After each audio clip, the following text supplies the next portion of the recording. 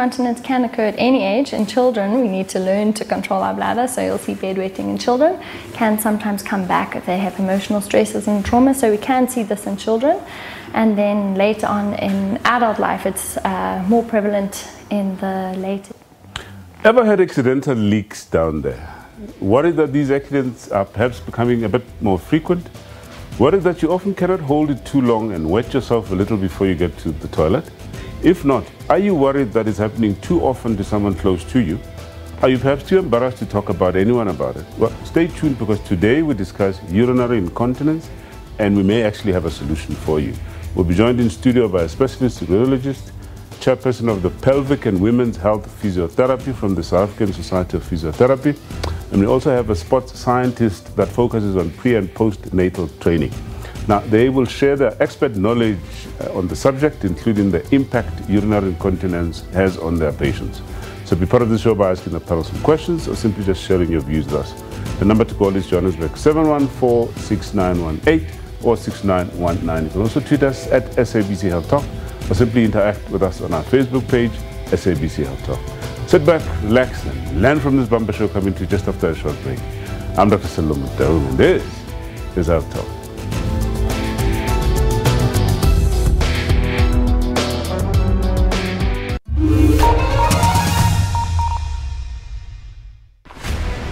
They need to step up and take responsibility. He believes that these banks were actually enablers of state capture.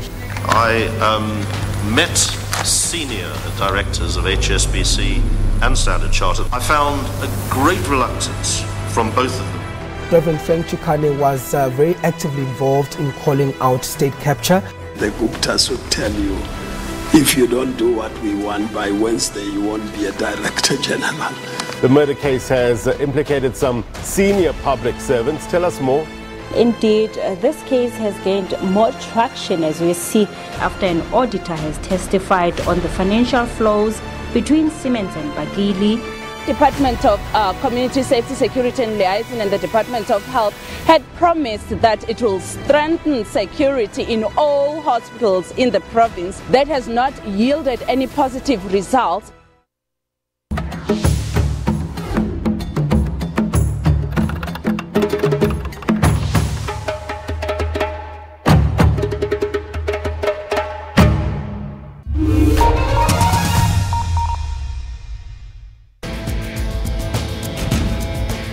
All right, so it's a great pleasure now to welcome our guests who are going to take us through this subject of urinary incontinence.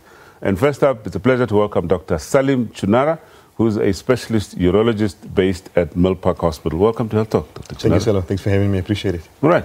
And of course, we also have Dr. Corlia Brandt, who's chairperson of the Pelvic and Women's Health Physiotherapy from the South African um, Society of Physiotherapy. Welcome to Health Talk. Thank you. Nice Dr. to be Brandt. here. All right. So, so perhaps let's start, let's start with you and, and, and just explain these concepts, uh, you know, of incontinence.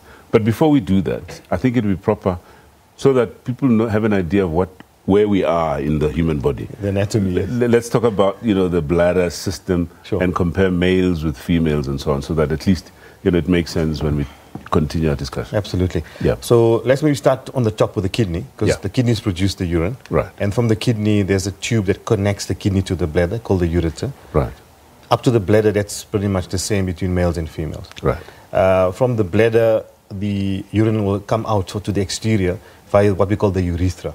Right. In the male, obviously, it'll come via the penis. That's why the urethra is longer. Right. And in the female, obviously, the urethra is much smaller. Right. Uh, what's common again at that level is that uh, something called the pelvic floor, Right. uh, where the urethra or the tube that connects from the bladder to the outside Yeah. passes through this very complex musculature called the pelvic floor muscle.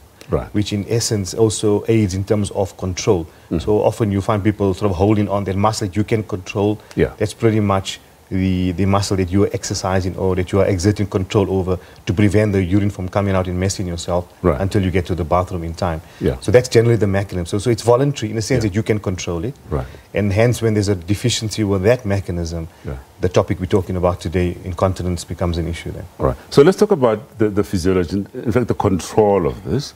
We learned that there's a sphincter that actually closes up to keep the urine in the bladder. That's right. And, and, and how does the message get through to the muscle to say, look, now it's time to, you know, uh, empty the bladder? absolutely. So it's, it's very interesting. I mean, the bladder, uh, the circuitry of the bladder is, is quite phenomenal.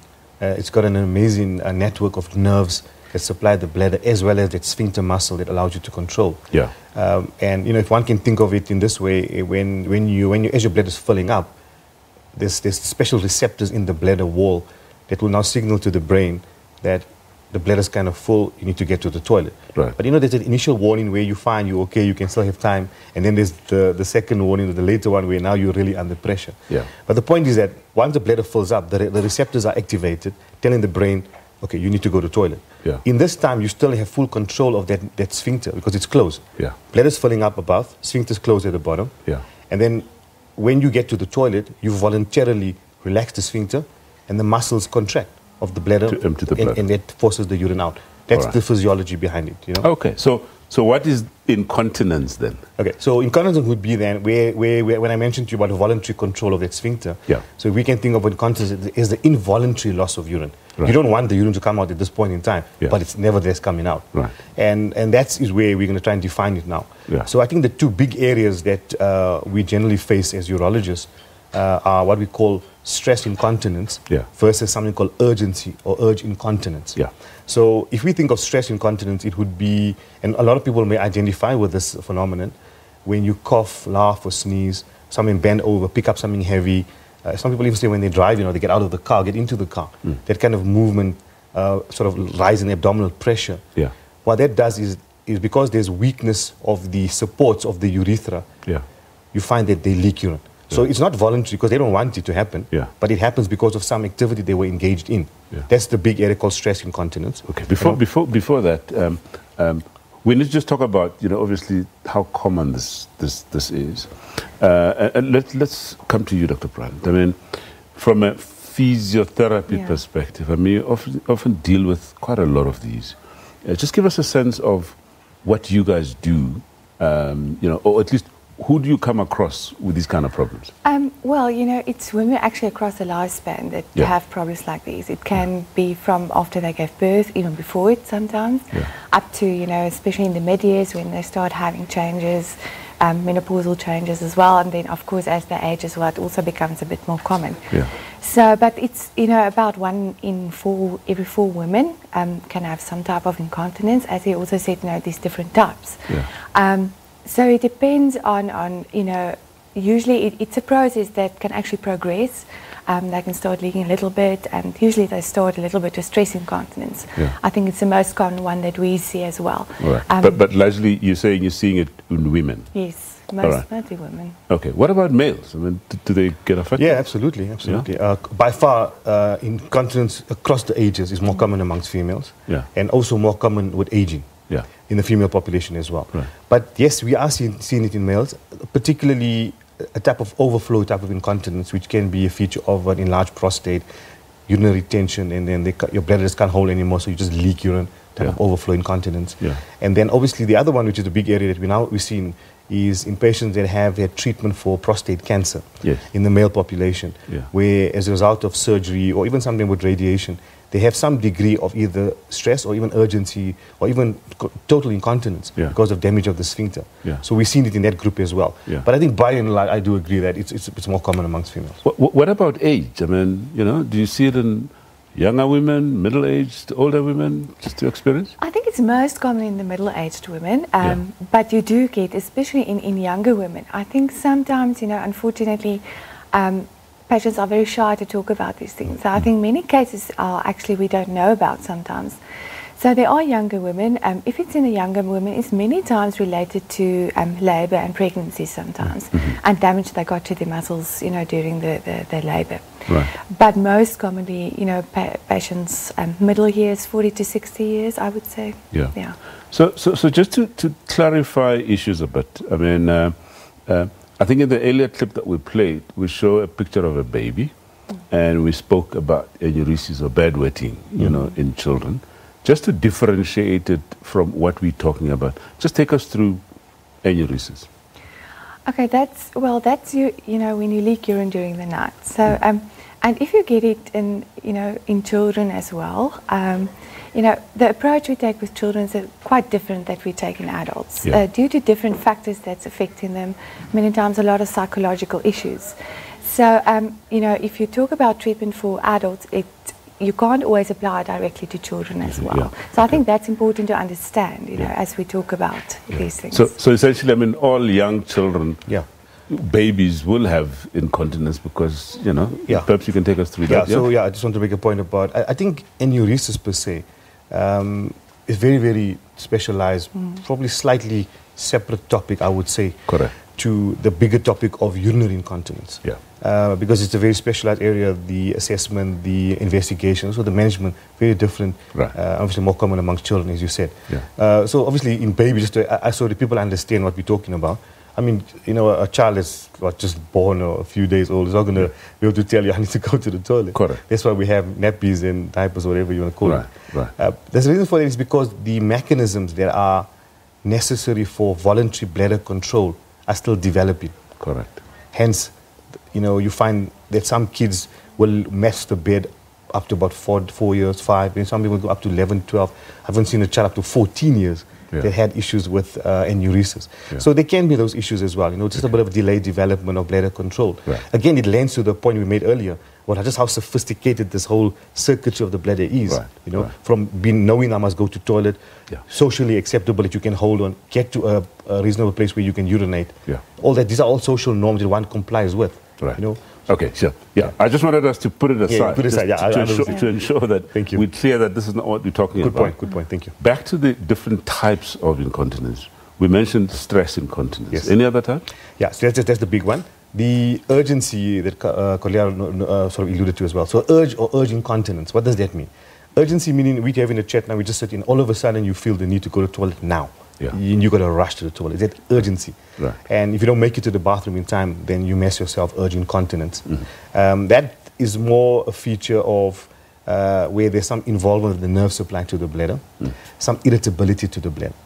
Uh, so it can be a simple thing like what we commonly would see related to a bladder infection. Yeah. Uh, you just get in a UTI, and as a result of that, your bladder is very, very irritable, and you're using the toilet almost every half an hour, hour. Yeah. There's this constant rush to go to the toilet. You know, Alright, and you may okay. mess yourself. You don't get Well, time. I tell you what, we're getting into the realm of causes and risk factors. Yes. Perhaps it's a good time to pause for now, and we'll go for a quick break. When we come back, we'll continue our discussion on incontinence. Please stay with us.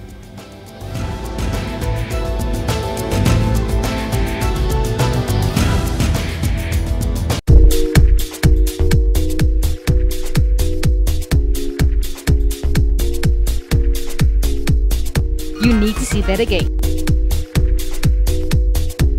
I literally feel like a kid in a candy store. From celebrities, politicians, we get to mingle with the who's who of Johannesburg. Part of the Doozy to Sunny experience brings you here to the highest part in Africa, and you get to see these rolling hills that are behind me. As Trends Travel, we travel far and wide to find your hidden gems.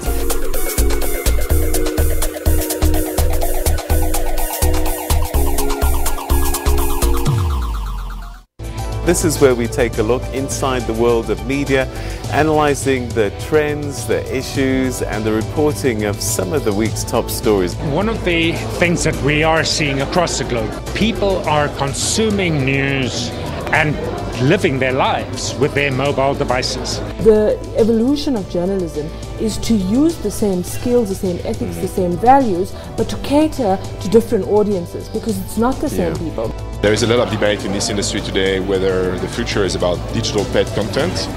Will there be a market for users to pay for digital content? And we see that in Africa it's a challenge. People will go, pay for a newspaper, take it away. Why won't they pay it on, for it online? In the initial stages of, of, of shifting from print um, um, to online, we created the impression that what people were paying for was the paper. And so people are very reluctant to pay for the journalism, and good journalism is very expensive. Watch Media Monitor Sundays at 9 a.m. On Economics Unbound, we unpack everything from corruption On the day he resigned, he was not aware of any fraud. Of course, they called it accounting irregularities. We've always called it fraud. To the effect global activities have on different economies around the world. This drone attack seems to be the single worst sudden disruption ever in the world oil market. But what does all of this mean for South Africa and the rest of the world? The last thing we need is a spike in oil prices and a disruption in oil supply. We will have a repeat of the recession of the 70s, which is really very dire for the global economy. Join Tandeka and Nana on Economics Unbound, Thursdays at 9 p.m.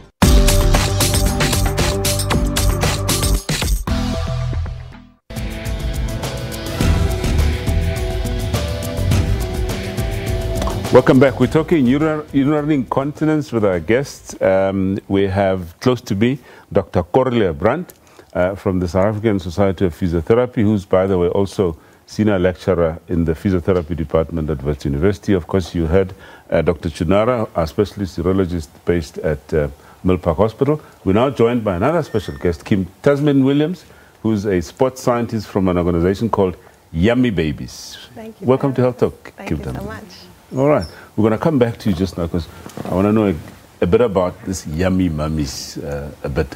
But let's come back to you. We were talking, we were describing all those, you know, different types of incontinence. We spoke about stress incontinence, urgency incontinence. Any other types, perhaps? Yes, uh, we can also group them into something called functional incontinence. Right. Functional would mean that you're just unable to get to the bathroom in time, for example, people that are arthritic, Yeah. people that have difficulty walking for whatever reason it may be, people that are inebriated, very, because have a bit, lot to drink the night before, just very drowsy, Yeah. lost bladder control. So it's more functional. You know, you just can't make it to the bathroom in time. Yeah. Predominantly, I think what we see in our practice. Yeah. Then the other big area is something called overflow incontinence. I mentioned earlier about patients that have enlarged prostate. Yeah. They go into urinary retention, for example. The bladder just continues to fill, and they just start leaking urine because the bladder just can't hold enough now. Yeah. It's just leaking out. Yeah. Uh, in that group, also, we see patients that have underlying neurological diseases, Yeah. uh, spinal diseases, uh, such as multiple sclerosis, Parkinson's disease also will fall under that big group of overflow. Yeah. And then what we something we, patients often know about, or we often hear about something called a neurogenic bladder, Yeah. where the you know the, the circuitry of the of the bladder, the nerve supply is directly affected. Yeah. Um, and that can either be from the brain that it's affected, or it can be at the spinal level. Yeah. For example, like patients with spinal cord injuries, Yeah. paraplegics, for example, Yeah. the nerve supply to the bladder is affected. The communication with the brain is affected because of the spinal injury. And as a result of that, they have this type of overflow incontinence. Yeah. And often they require some way of emptying their bladder, either via catheterization or via an indwelling catheter, you know, some means of artificially emptying that bladder. Yeah. You know, in the case of the prostate, if, the, if that's the cause of the situation, then you deal with the large prostate. Yeah. You know, you sort of do a resection, whatever you need to do to allow them to then urinate for themselves, Yeah. overcoming the obstruction. All right. So th- I think those are the big areas that one can consider. Okay, all right, okay. So before we start talking about causes and risk factors, let's welcome Kim Tamsin.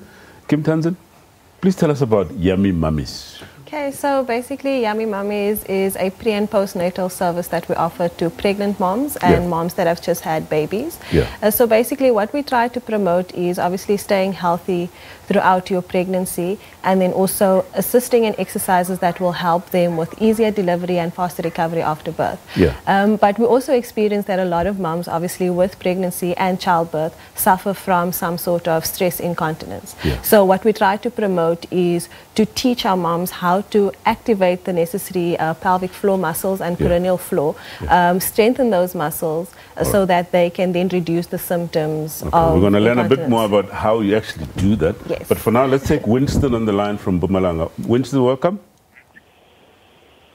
Winston, are you there? Yes, I'm here. Hi, Winston. Your question or comment, please. Welcome.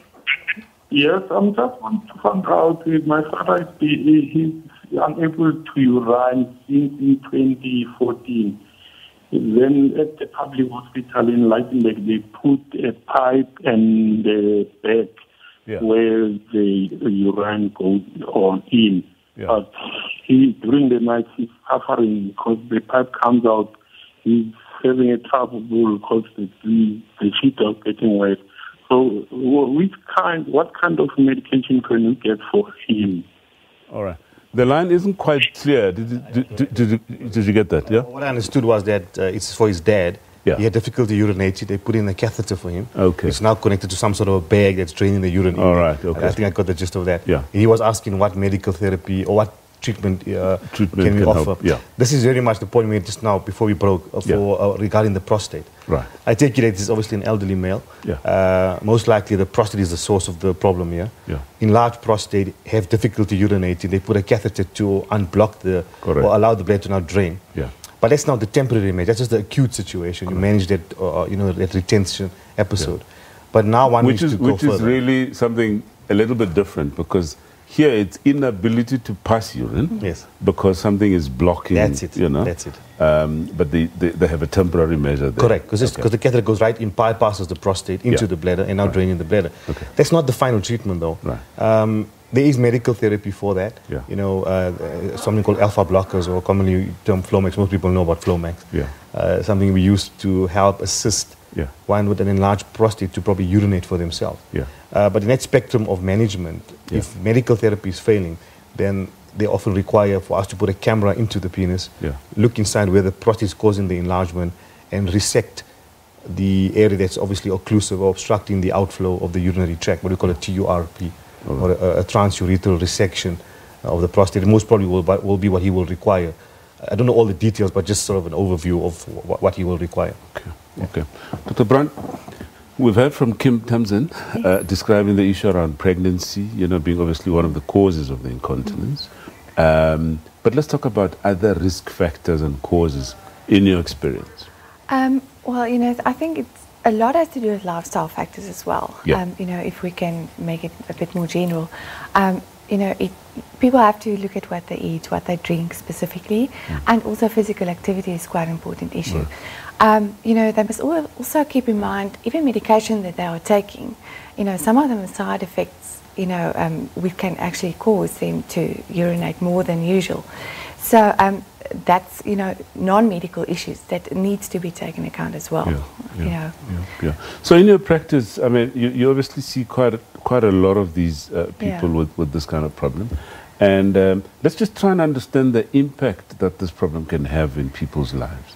Yeah, you know, I think that is the most important thing. Um, you know, these patients, it's not that I almost say when you like your typical patient usually complains of pain or you know something that's very wrong with them. For them, it's quite a, a, quality of life issue.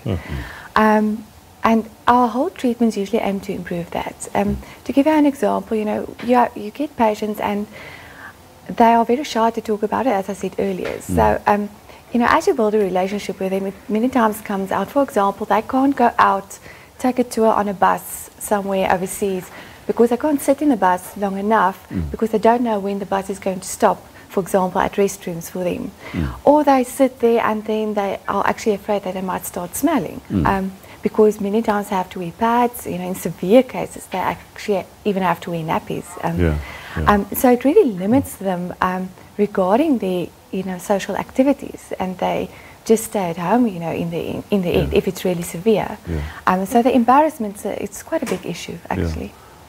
Chunara, I'm- I'm sure you see that a lot. I mean, um, where people are just basically too embarrassed to even consult a doctor for this kind of problem.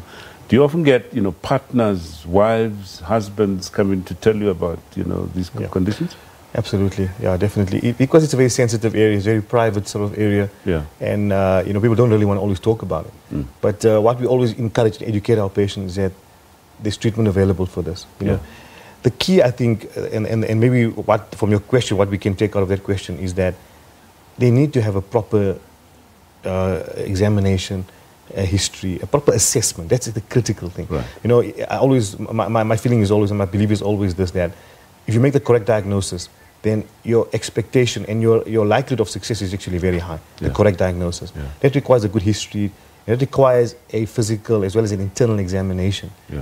To for one to identify what are we exactly dealing with. Yeah. You know, Yeah. and often people don't, shy away from that. You know, they don't really want to expose themselves to that and feel. Yeah. Ah, you know, it's okay. I'll just, I'll just live with the nappy. I'll just live with the pad. I'll, I just won't go out. You know, Right. but it doesn't have to be that way. You know, the, we can, like Corlia mentioned, the, I think the end point here is a good quality of life. Hundred percent, I agree with that. Right. How we get there is determined by the diagnosis we make, how we investigate this patient, and how we manage the patient. That's mm-hmm. it, simple as that. You know, we get that, if you get that that uh, line right, Yeah. you like to have a satisfied patient at the end of the story. Yeah. You know.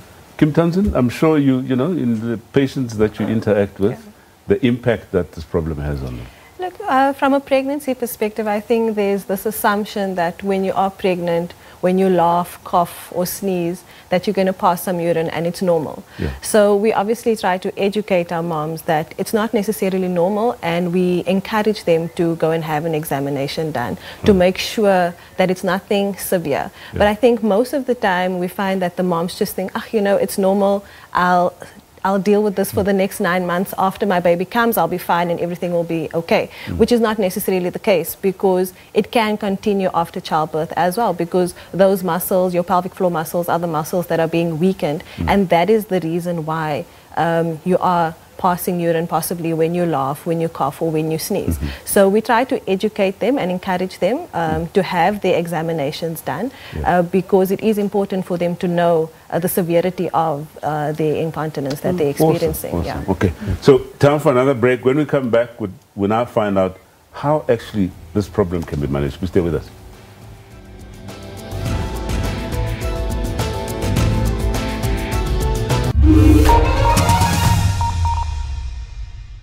Finance Minister speaking last year was quite clear that one, he doesn't want a constant bailout of Yes. state owned enterprises, including SAA. And then he also said there's no reason for SAA and we can get rid of it. The one that uh, people are talking about is the issue of privatization, but I don't think that privatization is within the horizon at the moment. But what I can say is the liberalization of the aviation industry may be on the horizon. Talk to us about um, the share that the continent gets as compared to the rest of the world. $1.85 trillion globally. 2.5% of that went into Africa in 2018. For us, the number one most critical issue in the energy industry of Africa is investment. It's time for us to be real stewards of our resources.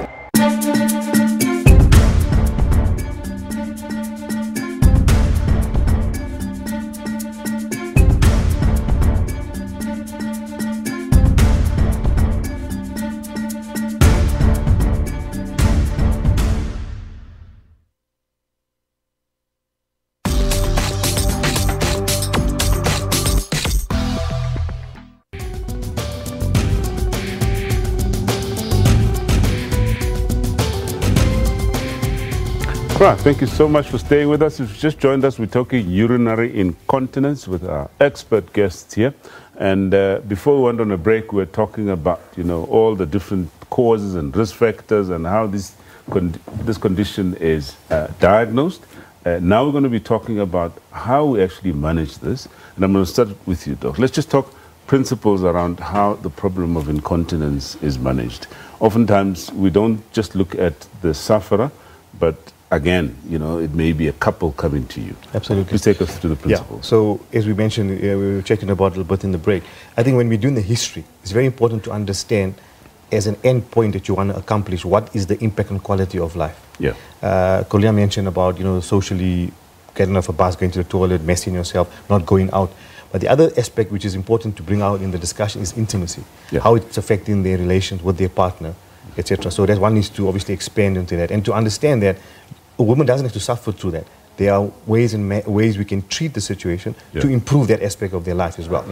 But in terms of uh, management, uh, clearly, you know, we often follow a principle where we don't always be too aggressive from the word go. Right. So we start off being conservative. Yeah. From conservative, we go on to medical therapy, and then if that fails, then we go on to more interventional, uh, less invasive, to the more invasive type of procedures to manage incontinence. Right. Perhaps, perhaps a good point to start talking about conservative treatment. Yes. And I think this is where you, you come in, uh, Yes. Dr. Brandt. Yeah? Yeah, I think um, if I also just can refer back, it's very important to know what type of incontinence Yeah. the patient has. So, um, because you are going to approach it a bit differently, um, for example, urgency versus stress incontinence. So, um, we would usually start with a, a good assessment of the patient where we physically assess the muscles, looking at what is the problem. You know, is it the strength of the muscle? Is the endurance? Is it the timing? And based on that, we will then prescribe exercises.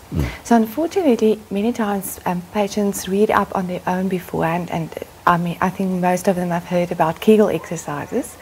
But if you do it under the wrong circumstances, it can actually do a bit more damage than good sometimes. Yeah. Um, so we will assess them and then we will start prescribing exercises based on what we found.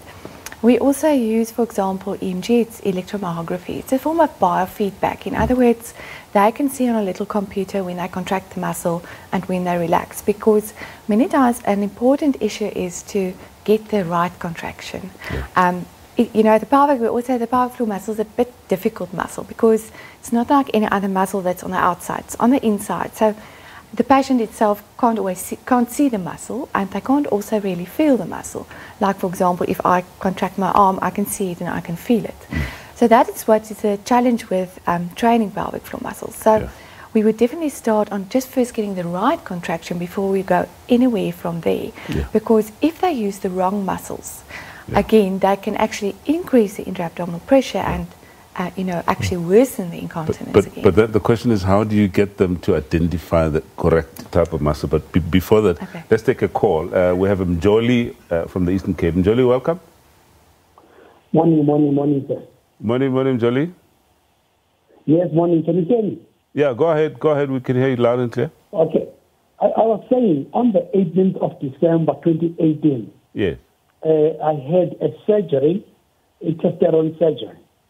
The What surgery, sorry? Surgery. I had a testosterone surgery, the operation. Yeah, we, we didn't quite get that, that type of surgery, but carry on, yeah? I was saying last year, December, the 18th of December 2018, Right. yes, I, I, I got e operation, testosterone operation. Oh, okay. Prostate, I think it is, the yeah? reason, the reason the was that after I've been engaged in sexual activity, Yeah. in the morning I was urinating blood or clot. Yeah. Then I went to the urinary, specialist urinary surgeon. I mean, neural, neurolon, yeah, something like that. Yeah, yeah. Then they did that operation. Yes. But after the operation, I felt better. But now, what I've noticed in the morning when I'm peeing, in the morning, Yeah. I, I noticed that there are some. I feel that there's still urine in my in my in my bladder that is still there, even Okay. after I've urinated. All right. Then it it, will, it it comes out in form of some few drops after that. Okay. Then during the day I'm fine. Okay. What could be the cause of that? All right. Thank you. That's that's a very good question. So so so. I understood urethral surgery. Urethral. Yeah, it, it sounds, Sounds like like- he sounded like had- urethral to me. Yeah, he had uh, you know some sort of surgery. Yeah. and and he's struggling to empty his bladder. From, from, what, from what I understood, um, is that he initially had difficulty urinating and they did some surgery.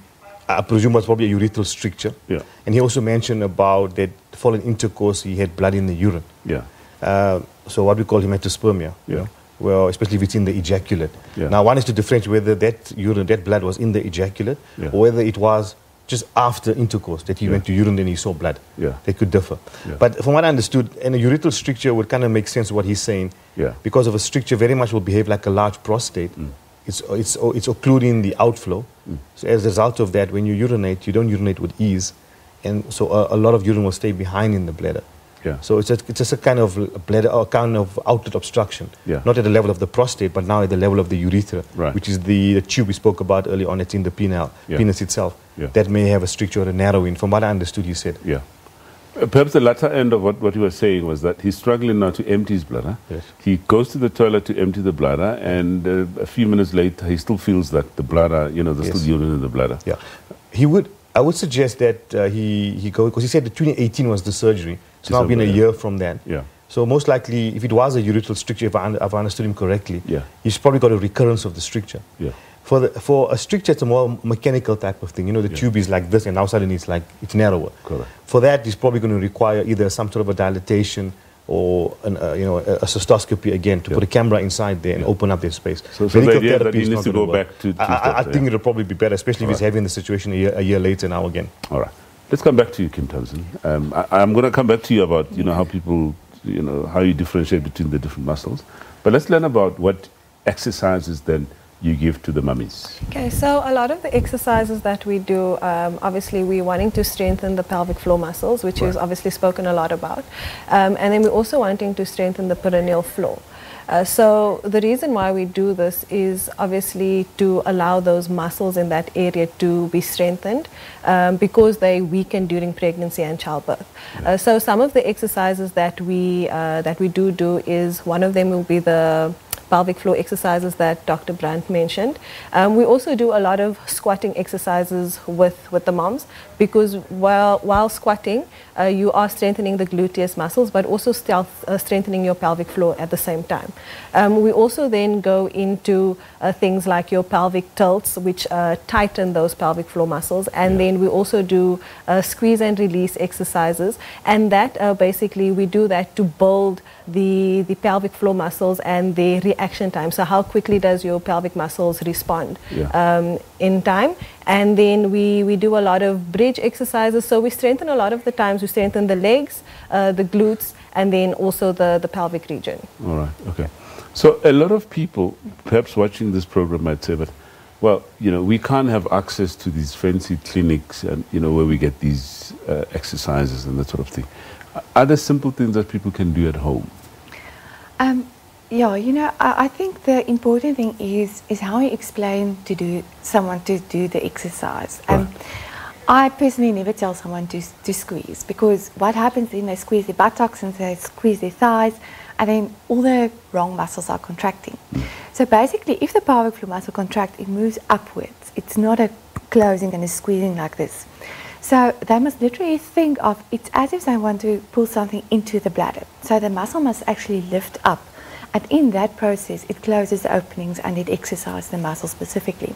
Like she also said, you know, um, we sometimes we just start with a normal pelvic tilt, where they just roll the pelvis forwards and backwards, just give to them that perception of where is the area, where is the muscle located. And how do they do this? Do they do this lying down? Yes, they can do it lying down. Usually we start lying down, just do a tilt. They can do it in sitting, they can do it in standing. The more you go against gravity, the more difficult it becomes to do. So mostly we start when we first see a patient in lying because that's the easiest um, position to do it in. Um, and then as we progress, they can do it while they are sitting, while they are standing, while they are walking, even, even while they are climbing stairs. Um, you know, patients that can't come for frequent sessions, you know, you give them e- these exercises to do basically um, just with their normal daily activities. Yeah. While they are sitting waiting for their children in the car, for example. Yeah. Just pull up, you know, the pelvic floor muscles, hold it for 10 seconds and relax. Yeah. Yeah, so I think that's the most important part. All right, okay. Be- before you go on a break, I-, I believe we have another caller, Anonymous from Port Elizabeth. Uh, Anonymous, welcome. Uh, thank you so much, sir. Right, welcome. Thank you. Um, sir, my problem is that I was sexually assaulted at a very young age. That would be around the age of four. Right. And um, I started noticing that I had urinary incontinence uh, post the incident as well, because I remember it was around the age of five, whereby I would wake up and the bed was wet every night, and I've endured this. I'm now in my 40s, and it happened like maybe three times in a month. What I notice is that during the middle, it only happens at night. I don't have stress incontinence or the situation whereby you can't control your bladder whilst you're awake. It happens while I'm asleep. Right. All right. Yeah. Okay. All right. We're very sorry for what happened to you. Uh, let's see if we can Thank get any help. Any, anybody can? Yeah. Sure. Uh, so sorry to hear about your ordeal. Yeah. Um, for one, we need to also think about the trauma to the, uh, the, the, the whole urethra, the sphincter mechanism. We need to consider that. From what I gather from what the, the lady's saying is that it's only it's not every day. It's three times a month. Yeah. That she's asleep and she doesn't wake up and so she wakes up and the, the bed is wet. Right. Doesn't have stress and doesn't have any degree of urgency as she understood it as we explained it. Yeah. So look, you know, often we'll be dealing with uh, what we call, let's say, uh, bedwetting or in, in, involuntary incontinence. We're just not aware. You're just in your sleep. Uh, it can be related to uh, sort of discoordinated contractions of the bladder. You're not planning to want to urinate, and then the muscle just contract. Yeah. If you're in a very, very deep sleep, you don't even have that arousal mechanism to wake you up. Yeah. Uh, but what, I, what I'm going to suggest to, to this lady is that I think she needs to see a urologist Yeah. for a pelvic examination and also to measure the volume of her bladder. Yeah. And she may also require what we call a urodynamic study, Yeah. where we look at to see is there are there any sort of involuntary contractions of the bladder which can be managed with medication. Okay. I'm also going to suggest, uh, and this is how we manage our kids as well, from the psychological component Yeah. of uh, uh, bedwetting and, and uresis in that group. But in her group, I think we can apply a similar type of idea, where I think she needs to. I don't know if she's been through. I mean, for consider her ordeal, I'm sure she's. It's a massive psychological impact it has on you. I don't know if she's been through a psychological. Uh, sort of therapy or, or, treatment, you know, but I certainly would adv- advocate those two areas. All right. Uh, so to certainly look at that. Okay. All right. Time for another break. When we come back, we'll wrap up our discussion on urinary incontinence. Please stay with us.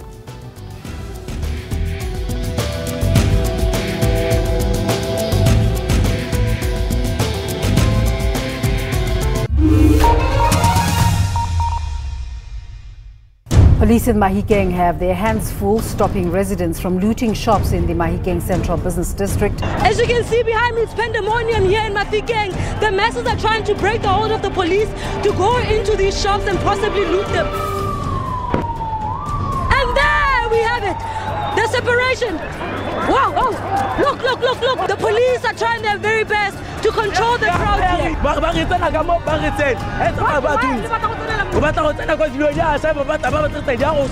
He's saying that it's better for them to go in there and take the stock before it is uh, wasted in the fire. The exact cause of the fire is still unknown, but electrical fault is suspected.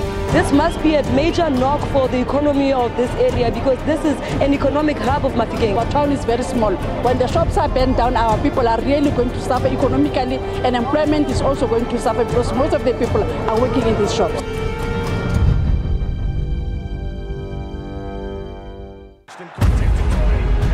This team doesn't know color. It's not a black or a white game.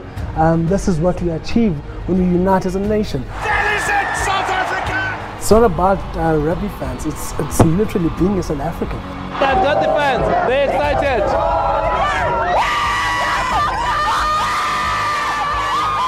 Getting everybody into the mood. All right, excitement all the way. Let me move along the line.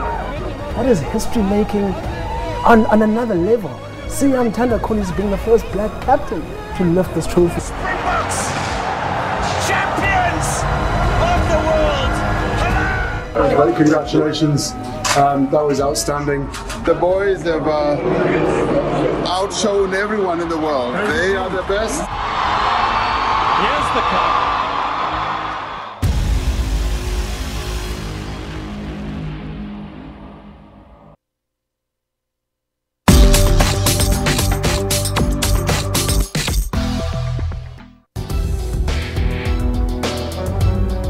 Welcome back. We're talking urinary incontinence. And uh, before we carry on with our guests, we have a caller on the line, Caroline from Rustenburg. Caroline, welcome. Uh, thank you so much. Um, I've got the problem with my urine. When I I cough, my urine just came out, and when I sneeze, my urine just came out.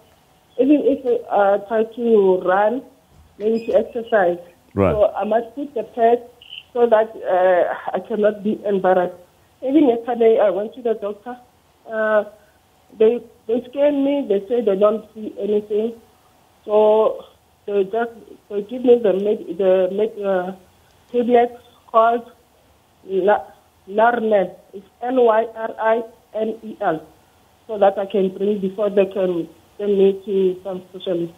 All right. Okay. All right. Th- th- thank you very much for, for your question. Uh, perhaps uh, Dr. Chunara would like to take So that. she's just described what we mentioned earlier on about stress, urinary incontinence, Right. coughing, sneezing, laughing, walking, etc. Yeah. Um, two things about what she just said now. She said she went to the doctor, and the doctor did an ultrasound and said everything is okay, just take some tablets. Again, you know, relying a lot more on investigation. Yeah. Uh, and, and maybe she can't reveal to us all what was found in examination. But again, this kind of individual, you need to know, first of all, uh, their body habitus, their, their body mass index, very important. And also, what her, is her age, perhaps, Yeah. uh, which is what we forgot to ask. Yeah? Age, absolutely, 100%. Yeah. But she also did say that she was given tablets whilst waiting to see a specialist. Yeah, I agree with that. So, so, so that. perhaps that. I- that's I a will good make a point about it as well. So I think the pelvic examination is important. Perhaps she may saw a GP who feel good, okay, you know what, uh, maybe just done a basic urine test, making sure there's no infection, which is the right thing to do. Mm. Some GPs do have ultrasound in their room, so they probably just check the volume in the bladder pre and post voiding, Yeah. and then a referral to a specialist. We do something at GPs that start the patient on in some medication like an anticholinergic to relax the bladder, which is what she described. Yeah. Now, again, you see that tablet is really used more for urgency, urgent continence. Yeah. If a patient doesn't have that, it's probably not going to make much of a difference. If it's purely because there's a weakness of the pelvic floor and the bladder is collapsing or the urethra is just, uh, you know, coming down with, with, with straining, the medical, medication is going to do nothing for their patient. Right. Just give them a dry mouth and some side effects, Yeah. you know. But look, nonetheless, she's going to going to see a specialist. But I, I sometimes discourage the GPs from just prescribing any tablet Yeah. just because they think it's going to help incontinence. Right. That's more for urgency and not for stress. This was the point we made early on. You know, it's counterproductive for the patient in any case. But I think uh, she's right. She needs to see a specialist, Yeah. Full pelvic examination. Yeah. And if it's she's describing it as pure stress, Yeah. she's probably going to require some sort of uh, procedure to deal with that situation. All right. We have another caller on the line, Titi Malo from uh, Zeerust, I think it is. Titi Malo, welcome. Uh, how are you, sir? We're good. How are you, Titi Malo? I'm all right. Uh, I have a problem with my nine-year-old boy. Yeah, every time when he plays, this thing started last year. Every time when he plays, you'll find that he has wet his pants. Right. Then I, I, I did took him to the pediatrician. Then the pediatrician uh, uh, referred me to the urologist. Then they said he has to be circumcised. But I don't think that that's the solution because uh, the urine doesn't stuck on the on the on the foreskin. Right. It's something which which is happening every time when he plays and when he's at school. Then I need help on that issue because it's starting to embarrass me now. Mm. That's an interesting one. Yeah, Dr. Chunara? that is definitely- I mean, nine-year-old and was told the solution is circumcision. Yeah, uh, she, and she made a good point about it that the urine doesn't start at the foreskin, so Absolutely. she's passed the anatomy lesson already. Yes. She's done well in that. Uh, agreed. Uh, I- what I would have liked to have known is whether he's got any nighttime symptoms, uh, specifically bedwetting. And she mentioned about the daytime, the school, where she he doesn't he messes himself because he can't get to the toilet, I presume. And while he's playing, sometimes it can be a simple thing like the child just doesn't want to go to the toilet. He's busy playing with the games or the, and just just holding, holding, holding until eventually can't hold anymore and he messes himself. It may be as simple as that. Yeah. Uh, if there's absence of nighttime symptoms, and there was no bedwetting, and it's just daytime symptoms, Yeah. then it needs evaluation. Yeah. Uh, we need to assess the child, uh, check for any neurological aspects that may be related to that, Yeah. paresthesia, numbness in the feet, uh, issues around bowel function, constipation, etc. Yeah. And then also to assess the volume of the bladder as well. In some cases, we do also do use a urodynamic study to decide what, what, what we need to do for these individuals. All But I think So, so, so little bit of history. basically, perhaps she must get a second opinion. I, I think she else? definitely needs to see a urologist, and Yeah. I totally agree with her. It doesn't have much to do with the foreskin, Yeah. the, what she's describing. Yeah. You know, certainly, no, I agree with it. Right. Let's come back to Kim Thompson. And, um, you know, we're, we're talking earlier about, you know, obviously the exercises that you, um, you give. Perhaps let's come back to your personal story. Um, you got involved with Yummy Mummies because you went through pregnancy yourself. Yes. and, So- yeah, tell us about it. Yeah, so with my first pregnancy, um, I didn't come from a very active background. Uh, so I decided to start exercising during my pregnancy, um, but I obviously experienced a lot of unwanted pregnancy symptoms. Um, I didn't suffer that much from incontinence, but I always obviously felt the urge that I needed to be in the bathroom continuously. Yeah. Um, I then I spoke to my midwife about it, and she suggested that I start the pelvic floor exercises um, and the Kegel exercises and so forth. So what I then did was it actually sparked my interest in knowing, okay, why do I need to do this? You know, uh, what benefit is it going to have for me and so forth.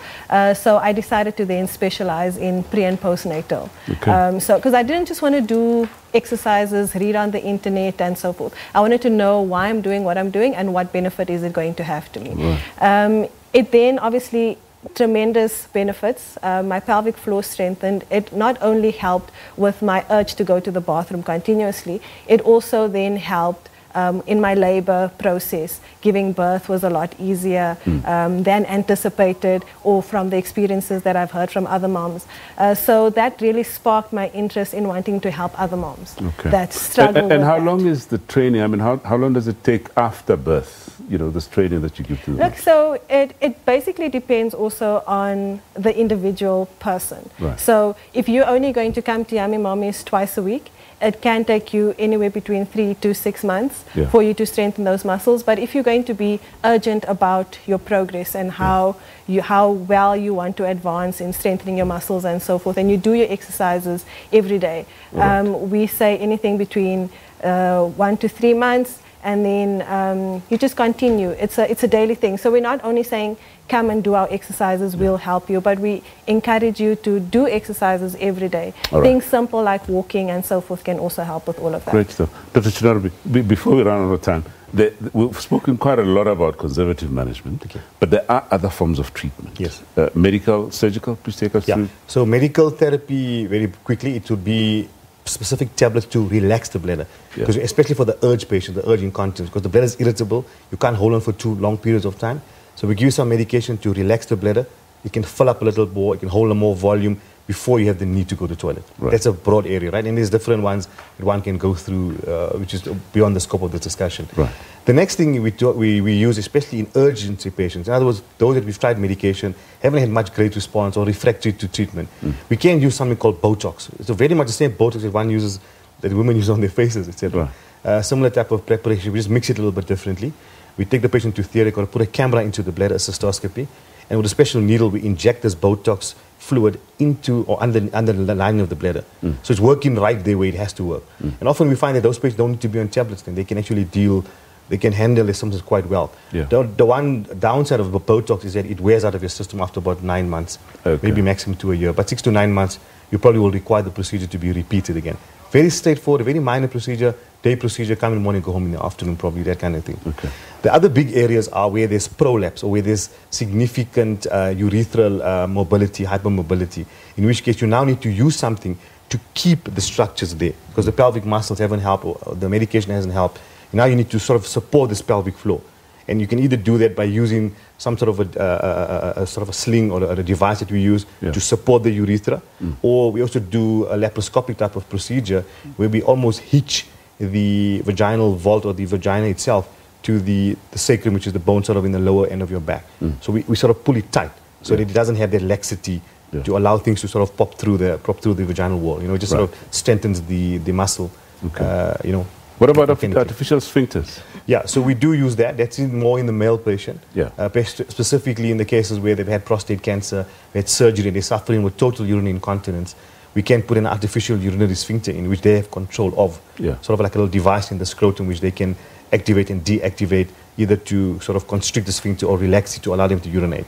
After they've urinated, they've got to activate the sphincter again to close off that urethra. Okay. In the male patient, we also have something called the male sling as well, Yeah. where for for a very similar type of patient, where you can use it again to support the urethra Yeah. uh, to allow them to be continent or reasonably continent. Okay. Dr. Brandt, just in the last few seconds, I mean, obviously, you get involved after surgery with most Yeah. of these. Just t- Yeah. quickly take us through that. Um, well, ideally, we would like to, or or we prefer to be involved uh, even pre-operatively Right. because as soon as the patient gets surgery, unfortunately, they oh. have a lot of pain, and you know, due to the procedures, they have to go through certain muscles and fascia that inhibits muscle contraction. And Yeah. in, in other words, makes it difficult for the patient to do it correctly. So if we see them before the time and can teach them the right contraction, it's much easier after the operation to help them again to get the right contraction. And then post-surgical, um, it depends on the procedure that they receive, that Yeah. and what we are going to do. Yeah. Um, but we will just gradually increase the exercise, not in the first couple of weeks, you know, to damage the normal healing process that has to take place. Yeah. Um, and then usually after about six weeks to eight, to eight weeks, Mm. we can start with a, a more progressive treatment for them to help strengthen the muscles again. Okay. Unfortunately, that's all the time we have for this program. I want to thank you so, so much for your contribution and your time. and then wish that you know we do it again sometime soon. you and to you guys at home, thank you so much for watching. We're back with you again in a week's time. And until then, please do take care. All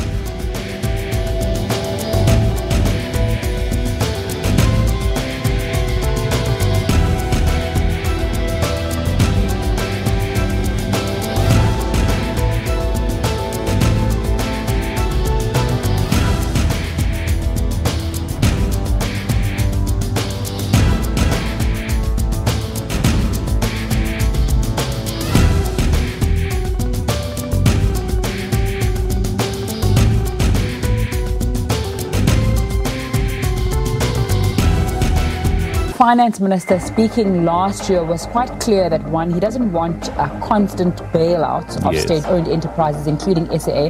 And then he also said there's no reason for SAA and we can get rid of it. The one that uh, people are talking about is the issue of privatization, but I don't think that privatization is within the horizon at the moment. But what I can say is the liberalization of the aviation industry may be on the horizon. Talk to us about um, the share that the continent gets as compared to the rest of the world. $1.85 trillion globally. 2.5% of that went into Africa in 2018. For us, the number one most critical issue in the energy industry of Africa is investment. It's time for us to be real stewards of our resources.